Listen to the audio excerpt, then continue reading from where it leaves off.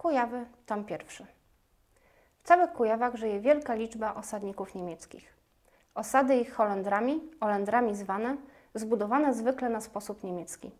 Oczywiście nieco zmienione wymaganiami miejscowości. Zbudowane nieraz pod sznur lub ciasno, odznaczają się porządkiem, czystością i małymi, zwykle za domem sadkami.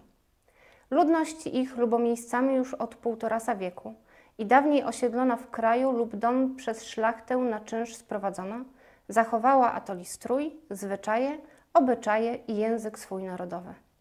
Są po większej części ewangelikami. Żenią się i żyją zwykle między sobą, mało się udzielając i łącząc z chłopem kujawskim i pracowicie rolę swą uprawiają. Mniej niż kujawiacy oddają się śpiewom i tańcom, a pieśni ich bywają prostym, niekiedy tłumaczeniem polskich. Kujawach pruskich, gdzie cała administracja posługuje się językiem niemieckim, przy napływie cudzoziemców żywioł germański daleko silniej przeniknął.